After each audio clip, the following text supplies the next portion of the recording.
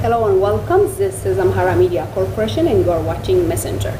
The United Nations Security Council has five permanent members, a legacy of the Second World War, which is Great Britain, Uh, USA, Germany, and France and China. So today on Messenger, we are going to talk about the United Nations Security Council and African countries representation. And to do that, I have Zawju Mangasha from School of Law and Ababa Yirga from Political Science and International Studies, both from Bahir Dar Universities. Thank you for joining me in the studio today. Thank you. Thank you for having So us. we are going to talk about the United Nations Security Council and African countries representation. Before we do that, let's talk about the structure of the United Nations Security Council and its working method when they selected members on non and non-permanent and permanent members of the United Nations Council. So can, can I start with you? Let, tell us about the structure of the United Nations Security Council and its working method and the reform it has been undergone for the last 40 or 50 years. Uh, thank you. Uh, of course, you know, uh, in 1945, while uh, the United Nations came to picture, one of uh, the principal organ within this uh, uh, institution uh, was uh, United Nations Security Council. So at that time, uh, when uh, this charter came to a uh, picture, uh, the Security Council uh, had a member of uh, 11 states, of which uh, five of them were uh, a permanent member and six of them were, uh, you know, uh, non-permanent members. Uh, and uh, later, in 1963, uh, there was a reform, and uh, that reform, uh, uh, which is really existing in the present days, is uh, increasing the non-permanent members of the United Nations, uh, I mean the Security Council, to um 10. Uh, it is possible to look that uh, from uh, the very time of 1945 to the present days, we have almost more than uh, 70, uh, 374, uh, 75 years. So through this period, there are a lot of changes, especially if you look at the very time when the security, I mean the, uh, the UN uh, was established, there was only 51 states but currently we have more than uh, 193 states. And again, even if you look uh, the very time while uh, the, uh, the UN was uh, established, only four African states were a member. But currently we have uh, uh, more than 54 states of more than 54 uh, states that is just account almost 28 more than member states are from Africa. Uh, so uh, we can look that there is uh, you know uh, changes. And uh, at the very time while uh, the UN was established it is basically those who uh, win the second world war uh, were taken the permanent seat and still maintain uh, to the present day. So uh, a need for reform within uh, the security council is uh, uh, just was emerged even uh, just after its establishment, like uh, less than 20 years uh, ago, that is in 1963, there was a minor reform. But uh, starting from uh, 20 years, 25 years back, there is a, a movement for massive reform within the United Nations Security Council. Of course, this reform was supported by different groups like um, the African states groups, uh, the group uh, 69, and uh, there is also a group, uh, G4 group, uh, uh, four states, uh, which basically um, uh, uh, uh, basically India, Japan, uh, Brazil, and uh, Germany were requested for uh, a reform, especially those uh, G4 groups are requested for having a permanent uh, uh, seat within the Security Council. And other countries like Italy have also come up with different uh, Uh, uh, modes of reform that increase uh, the number of the number of Security Council uh, uh seats. so there are a lot, just you know, reform agendas that are forwarded by different states and group within the Security Council. So let me come to Ababa. Does the current composition of the United Nations Security Council reflect the world that we are living in now? Oh, no. Uh, I think we have to be honest. The, the main thing that make, that make the United Nations Security Council undemocratic is its composition and uh, its reluctance to, to change so as to reflect the world we are uh, living and also the kids when we come to uh, its composition, it has, uh, as my colleague has said, it has already neglected Africa. And Africa accounts, as he said, more than 28% of uh, member states. So it has been it has been neglecting and it has been reluctant to, to, to accommodate changes, to accommodate uh, justice because this is also making the United Nations Security Council unjust and unfair because these permanent five uh, P5 status are uh, primarily based on their national interests, neglecting the issue, the, the real process also.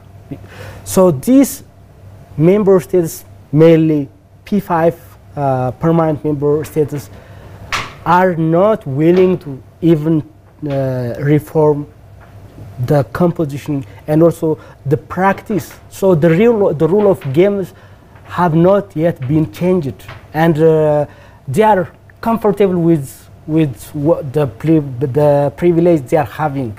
So uh, this has to be changed, and uh, it is the right time. Uh, even even though it is too late, still it, it is the right time to change.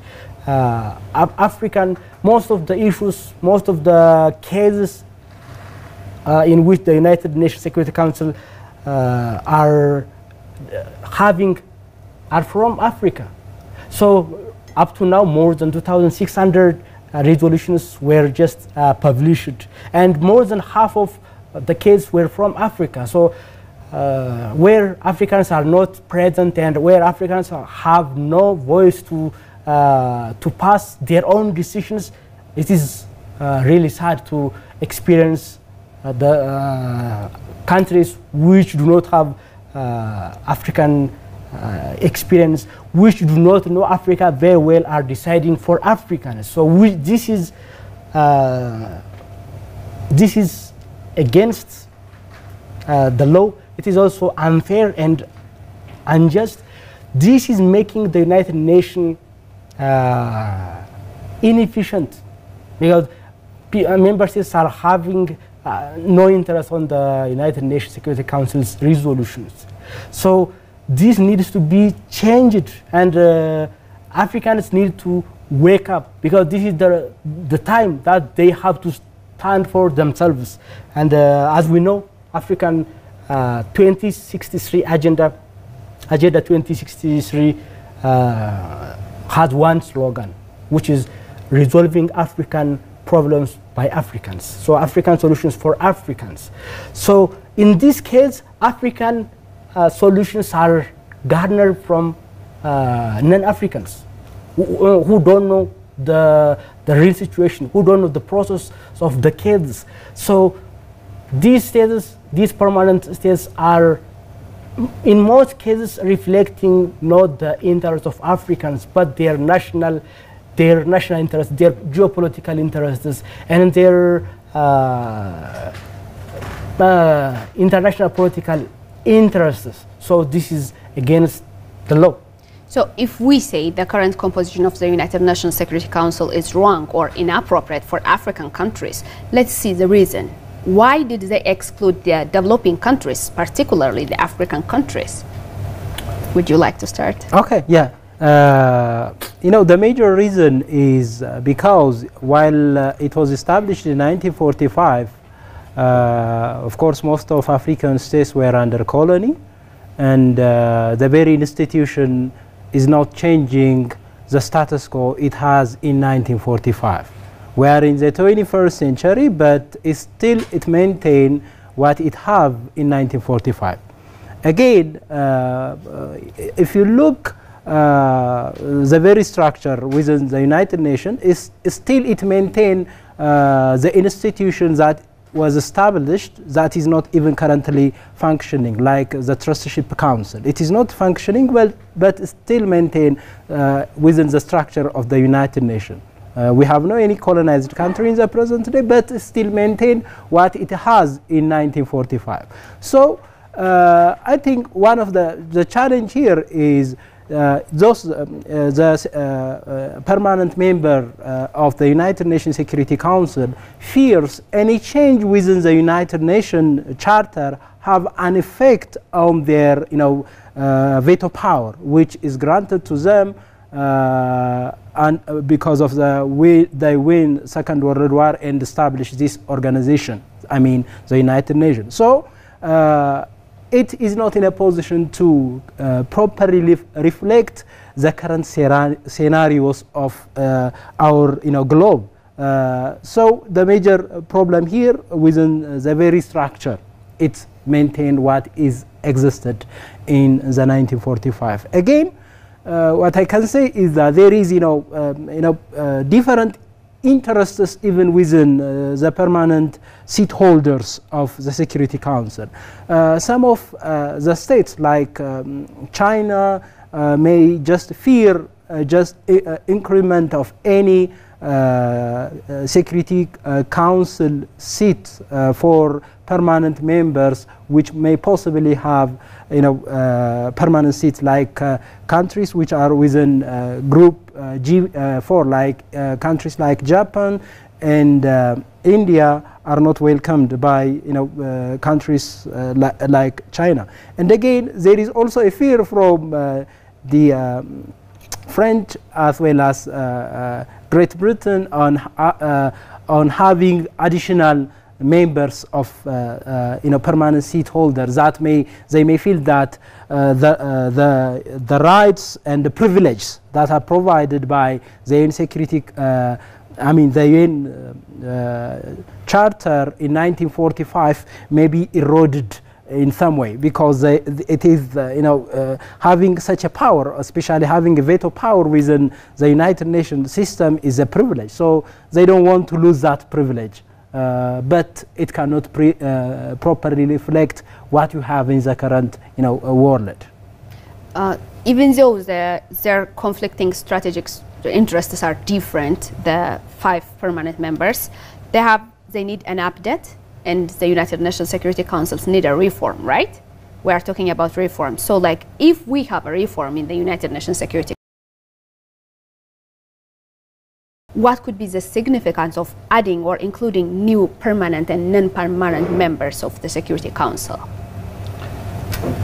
Well, uh, uh, as, as I told you, the effectiveness and the efficiency of United Nations Security Council would be would be really increased because uh, having more permanent members, especially representatives from Africa, and from other developing global south, I would say, uh, would make the, uh, the popularity and the acceptance and the confidence of people on, on, on, on the United Nations Security Council.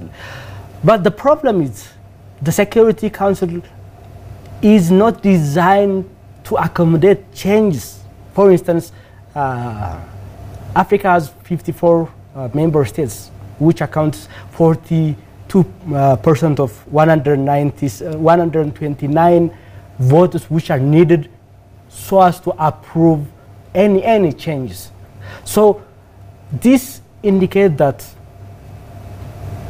it is really uh, the the system itself is really reluctant for change.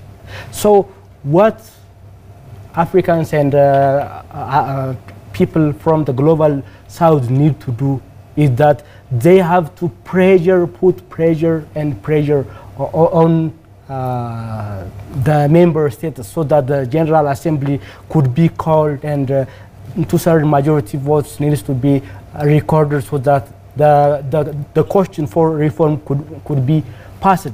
And, and there needs to be political and uh, uh, diplomatic work from Africans so that uh, African question could be uh, could be secured. For instance, in 1963, when African Union was formed, and when uh, His Majesty Imperial uh, Emperor Haile Selassie accepted his his chairmanship as the first uh, chairman of African Union, Organization of African Union, he stressed on decolonizing Africans.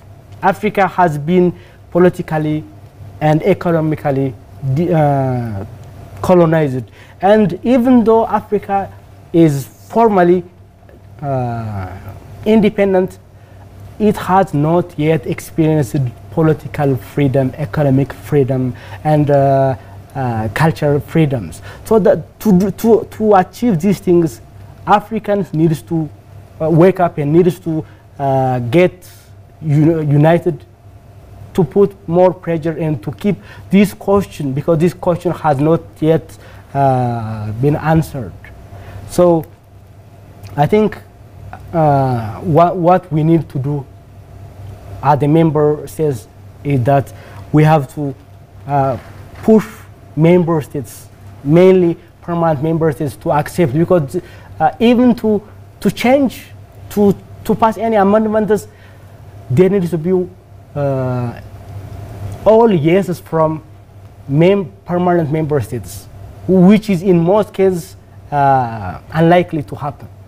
So this makes uh, the United Nations Security Council not, not pro-reform. So it is a rigid council. We can Perfectly, uh, we can say like so that. it is obvious that if you are not a member of uh, Uni United Nations Security Council, you, ha you have no right of like voting for reform or change, right? So speaking about reforms and change, we have three elected African members of the United Nations Security Council, which are Niger, Kenya, and Tunisia. So who is going to evaluate their effectiveness in the United Nations Security Councils and how could the ASIC S3 countries or the three elected members, African countries, contribute in shaping the debate or the decision of the United Nations Security Council? Okay, thank you. Uh, before directly dealing uh, with this question, I, I just want to uh, have some opinion on uh, what is the reform issues within uh, the United Nations Security Council. Uh, there are major issues that needs reform. The first one is regarding uh, the membership categories. Uh, as uh, it is known, there are two type of membership category within the United Nations Security Council. The first one is permanent members and the second one is non-permanent members.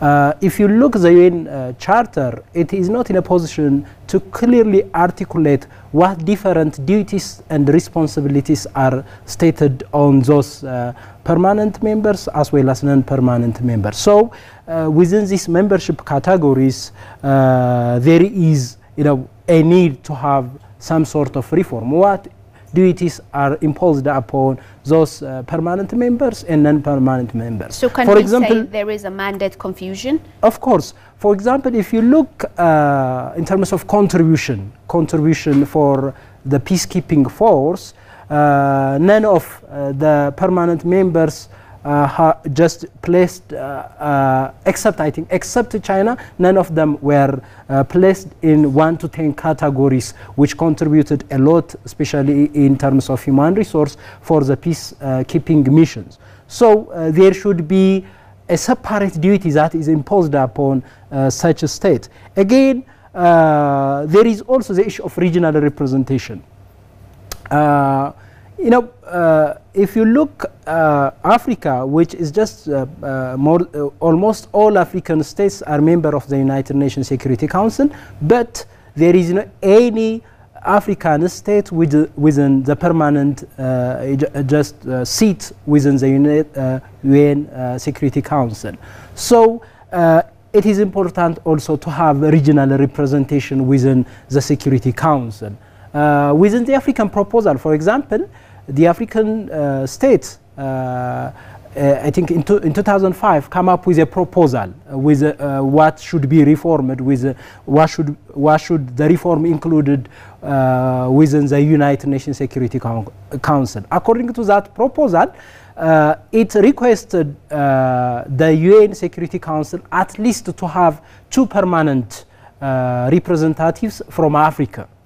And again, uh, at least five, five uh, non-permanent seats should be uh, provided for Africa. That is taking into consider East Africa, West Africa, South Africa, Central Africa, and North Africa. So the regional representation should be taken into account. Again, here, uh, there is also uh, a need to consider uh, the size of the Security Council. of course, right now we have only 15 states.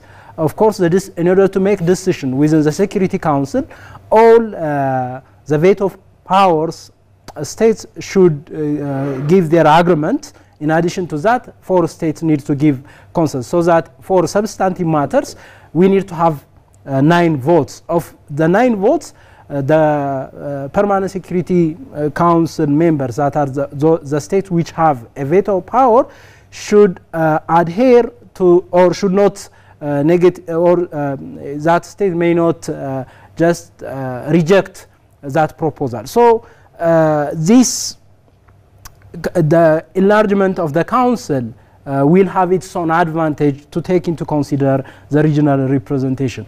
So uh, having said this, uh, let, come, uh, let me come to your uh, question about the A3 states. Right now, uh, based on the existed uh, framework of the United Nations, African states will have are having three representatives. the three representatives are non-permanent seat holders, and again, every two years, uh, the representative may be changed, uh, may change with an or may be may a new state, may, a new African state may be elected. Of course, after the coming into existence of AU, African Union, uh, there was attempts uh, and still there are attempts to take into consider position on issues that are reflecting the African agenda. Uh, basically, this can be reflected on their position uh, of the Security Council members on current issues which uh, our country is having. So in these instances, most African states take a position that non-intervention should be the principle and uh, issues that are uh, considered domestically or issues that are considered internal matters of the state should not be uh, uh, should not be discussed by the Security Council. So this is reflected by uh, most African states. Of course, sometimes, of course, sometimes uh, when they have their own political issues and their own separate agendas, they may not clearly reflect the African Union common positions. Uh, this can be uh, mentioned from instances where uh, Tunisia take the issue of GERD to the Security Council in support of Egypt. So sometimes they may not clearly even reflect uh, the AU agenda, rather they may uh, prefer to uh, look issues from their own perspective. Of course, within the current framework of the Security Council, within the current framework of the Security Council, uh, the membership is only to the states. It's not for international organizations. That's why uh, even uh, the Africans and the EU tries to influence uh, other states uh, to take uh, issues of their regional interests within the Security Council. but right now, maybe in the future, this may be changed. So there is a need of collective engagement of the A3 countries in the United Nations Security Council. Maybe they could do better. Yes, of course, because you know uh, the current framework, uh, for example, the three states are selected by AU. Uh, and of course they have to give the endorsement of the United Nations General Assembly. So if they are uh, selected by uh, the African Union, they have to take into consider the interest of the African Union states. That's why I'm saying that uh, whenever those African, uh, uh, because they are representing, the seats are, the non-permanent seats are represented for the African, the three seats, so that whenever the African interests are there, they have to properly address or they have to properly reflect the interests of the African states because they are there uh, taking into consider the regional representations. How are they doing? Uh, yeah, of course, sometimes they are doing good, sometimes they may take into consider their own interest. Uh, I just uh, read uh, uh, research which is conducted you know, in 2015, and that research reflected that sometimes uh, member states within the Security Council uh, may take advantage of that seat for their own than the regional representation, so that they may get uh, some sort of aid or uh, even the research showed that when the states, especially the developing states, are uh, uh, taking to that position, they may get additional aids and uh, uh, by countries because uh, it is believed that they are uh, serving that interest. Let's come to Ethiopia and the Security Council. So the Security Council was conducting like a consecutive meetings about Ethiopia and how did the A3 countries, representatives of Africa, react to, to that? Uh, well, uh, as my colleague mentioned, uh, in most cases, uh, uh, Af- uh, A3 member status uh, just uh, they just stated joint uh, press statements and uh, they they stood together and they were they have been well informed and well uh, in, inspired by Afri- African Union uh, Peace and uh, Security Council. So that council has played a good role in, in bringing three African uh, states to, to form a bloc and to make uh, a joint statement so that they could, they could really represent the issue of Africa for Africans. So this, this would make things a, a little better, a little bit better, but uh, a lot has to be done. Uh, as he said, in, in some cases, these African representatives have been standing against African uh, interests, African state interests. Uh, the good, a good example could be uh, the issue of the GERD. The issue of the, the issue of the GERD is not a peace and uh, security issue. It is a development issue. So this has this should have been uh, seen at the basin level, and states have been dealing with their own uh, capacity. So some some states violating African issues for African solutions for African issues should not uh, submit the case to United Nations Security Council. Uh, uh, apart from that, when it comes to uh, the things in which Africans share, for instance, uh, political independence, I mean non-interference from from uh, developed states, I mean global north. Uh, uh, Africans, African members, they all agree and they all stand against non-interference and uh, unfairly, and also uh, I, I would say I would say unjustly. Ethiopia has been treated uh, in, in the United Nations Security Council with a lot of injustice and with a lot of uh, undemocratic and undiplomatic uh, understandings and uh, uh, conditions. Ethiopia, most of Ethiopian cases were unnecessary to be to be seen at the United Nations Security Council. Most of them were about internal issue of Ethiopia, and uh, this could this should have been dealt by the Ethiopian capacity. So states mostly mostly running against the national sovereignty of Ethiopia and instead running for to secure their uh, geopolitical interest and their national interest have been constantly uh, declining Ethiopia's sovereignty and Ethiopia's capacity uh, to solve its internal problem. Instead, they have been magnifying uh, the issues. They have been exacerbating the issues. They have been uh, even diplomatically equating Ethiopia with, with, with, with neo-colonial clique, the TPLF, uh, in which they, uh, they have been treating Ethiopia in the way they don't like to be treated in the same way they want Ethiopia to be treated. So this is something immoral. This is something illegal. This is something which makes the United Nations uh, irrelevant because uh, when the United Nations is just going against the real things happening on the ground, then the relevance of uh, United Nations Security Council could be totally washed away.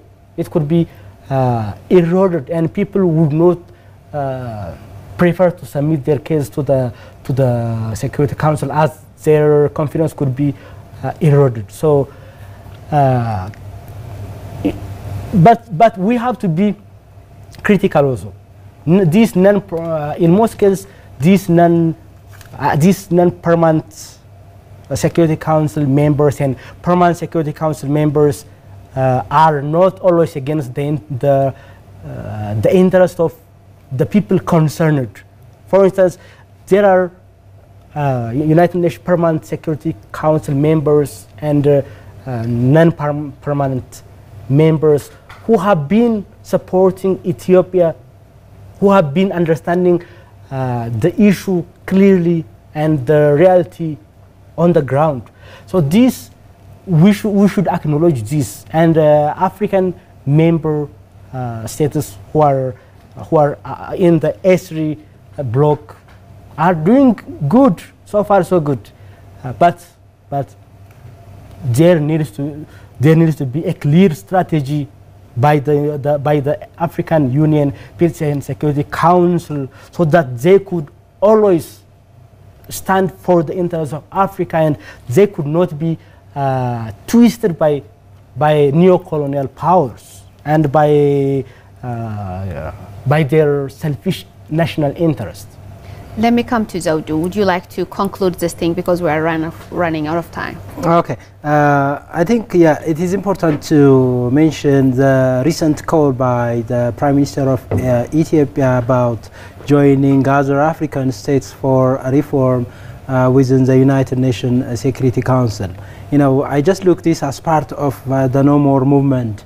Uh, which is just taken by even other African states as important uh, for just tackling uh, the Western state, you know, meddling and interference. So as part of that movement, I think uh, the reform within the United Nations Security Council is important.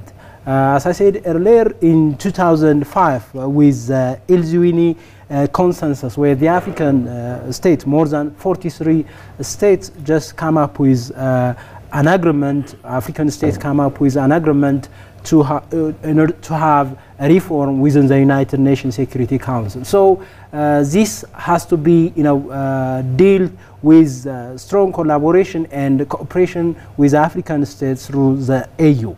And again, even um, other uh, like-minded states are there, uh, especially the Latin Americans and Asian states are also supporting a call for reform within the United Nations Security Council. So uh, African states uh, should work together with other like-minded like-minded states for a reform within the United Nations Security Council. Zawdu Mengesha and Ababa Yirga, thank you for joining us today. This is Amhara Media Corporation and you were watching The Messenger and we were talking about African countries representation on United Nations Security Council and I am Fikradi Zodu. See you next time.